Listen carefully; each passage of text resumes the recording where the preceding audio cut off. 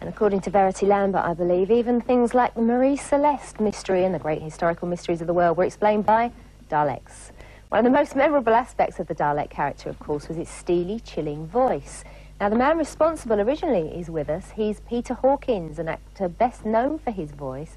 It's been heard on many an advert and on several puppet shows on children's TV, including the voices of Bill and Ben, the Flower Pot Men, whose oddle-poddle language Peter devised himself. A bit of a leap of the, from, of the imagination from the Flower Pot Men to the Daleks, isn't it? It is, yes. So how did it come about that you started off to do the voice in the first place? Well, I'd done so many um, voices up until that time. That, that was uh, one version. The other version was that somebody phoned up uh, bookings and said, we want somebody who's good at Daleks. And they thought they said dialects. Dialects. So that's how you got the job? yeah. Brilliant. But you weren't actually inside them, were you? I Because wasn't, no. originally they were only about four foot tall, weren't they? Yeah, I was behind the cyclorama uh, with a, a monitor and a lip mic and a pair of cans, earphones uh, with the director on one and the floor so that I could hear what was happening on the floor and the actors and everything on the other one. What electronic gadgetry was used? A ring modulator. What's that? Well, I don't know much about electronics, but it did break up the voice a bit. But Oh, we still we did it ourselves, of course. We, we still uh, grated it and... Uh, what, shall I do a bit? A burst? Go on. Hello, Debbie.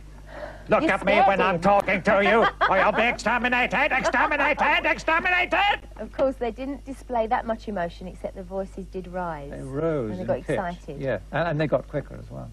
What characters did you have? Characters. Dalek characters.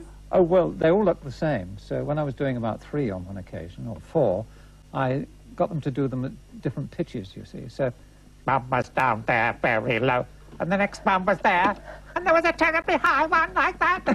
sounds a bit like Norman from- Wisdom, doesn't it? Not that different from the Flower Pot Men either. No, except you could understand what they were saying. And was, were they all you all the time? No, I had David Graham with me quite a lot of the time.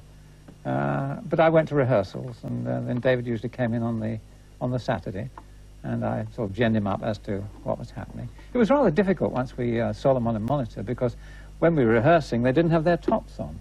so you could see the bo- sorry, you could see the boys inside, you see. But when you were behind and, and looking at a monitor, of course, and they were cutting very quickly, uh, you never really knew which was which, because they all looked the same. So on rehearsal day, it was rather important to get it all sorted out very quickly. and I bet you've had a few reminiscences today. Thanks for joining I have us. indeed. Sharma.